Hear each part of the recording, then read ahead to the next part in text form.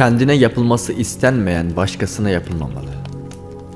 Kişi nasıl kendi kızının, kardeşinin, ablasının sevgilisi olmasını istemezse, karşısındaki hanımın da birinin kızı, ablası, kardeşi olduğunu unutmamalı. İyi bir eş adayı olamazlar. Hiçbir iffetli kimse daha önce birçok sevgilisi olmuş ve bundan tövbe etmemiş bir kimseyle evlenmek istemez. Tövbe etmekse kati suretle pişman olup bir daha aynı günaha düşmemekle mümkündür. Kötü kadınlar kötü erkeklere, kötü erkekler de kötü kadınlara, temiz kadınlar temiz erkeklere, temiz erkekler de temiz kadınlara yakışır. Ancak tövbe edip durumlarını düzeltenler ve gerçeği açıkça ortaya koyanlar başkadır. Zira ben onların tövbelerini kabul ederim. Ben tövbeyi çokça kabul eden ve çok esirgeyenim. İyi bir örnek olamazlar.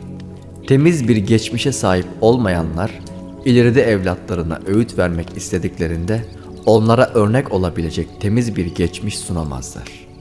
Ayrıca Allah muhafaza sevgilisi olmuş evladına bunun yanlışlığını anlatmak isterken onun senin sevgilin yok muydu sorusuna olması gereken cevabı veremezler.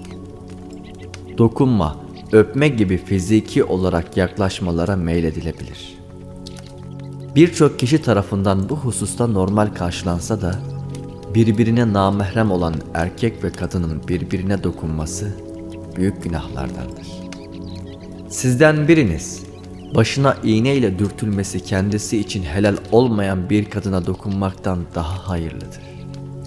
Bir insan hakkında kurulan hayaller, esprili ve romantik konuşmalar, bakışmalar, cinsel arzuları uyandırır. Efendimiz Aleyhisselatü Vesselam buyurmuştur. Mahremiyet sınırlarını aşıp taşarak cinsel hislerini arındıran insan, aklının ya tümünü ya da üçte ikisini kaybetmiş gibidir. Evliliğin heyecanını söndürür. Evlenmeden önce konuşmalar, gülmeler, gezmeler, eğlenmeler, kısacası birbirine bu denli yakınlaşmalar kişilerin evlilikten sonra dair beklentilerini karşılayamaz. Hayat çerçevesinde birbirlerini tanıyıp evlenen kişilerse en güzel anlarını helal çerçevede gerçekleştirebileceklerinden bu onların heyecanına heyecan katacaktır. İnsanları günaha teşvik edebilir. Bir insan sevgilisi olduğunu alenen beyan eder. Bu durumdan hoşnut olduğunu insanlara sürekli gösterir. Sosyal medyada en mutlu fotoğraflarını paylaşırsa diğer insanları da böyle bir arayışa sürüklemiş ve onların günahını da üstlenmiş olur. İnananlar arasında çirkin şeylerin yayılmasını arzulayan kimseler için dünyada da ahirette de çetin bir ceza vardır. Allah bilir, siz bilmezsiniz. İslam'da iyi bir çığır açan kimseye bunun sevabı vardır. O çığırda yürüyenlerin sevabından da kendisine verilir. Fakat onların sevabından hiçbir şey noksanlaşmaz.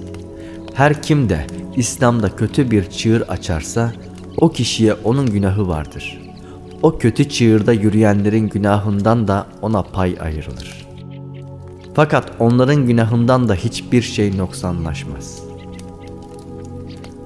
Hadisi şeriflerde müjdelenen genç olmaktan uzaklaşır. Efendimiz Aleyhisselatü Vesselam'ın arşın gölgesinde gölgelenecek yedi gruptan bahsettiğinde ikinci grup Rabbine ibadet yolunda büyüyüp serpilen gençtir ki bu gruba girmek her gencin elindedir. Nefsini günahlardan koruyan, bilhassa zamanını fitne ve fesattan kaçınan, heva ve hevesine uymayıp gençliğini Allah yolunda ve ona ibadette geçiren genç bu büyük müjdeye nail olacaktır. Zinaya yaklaştırır. Zinaya yaklaşmayın. Çünkü o şüphesiz hayasızlık ve kötü bir yoldur. Farkındaysanız burada zina işlemeyin denmiyor. Zinaya yaklaşmayın deniyor. Şüphesiz zinaya yaklaşmak da erkek ve kadının kendini birbirinden sakındırmamasıyla olacaktır. Adem oğluna zinadan nasibi yazılmıştır. Buna mutlaka erişecektir. Gözlerin zinası bakmaktır. Kulakların zinası dinlemek. Dilin zinası konuşmak. Elin zinası tutmak. Ayağın zinası da yürümektir. Kalpse heves eder, diler.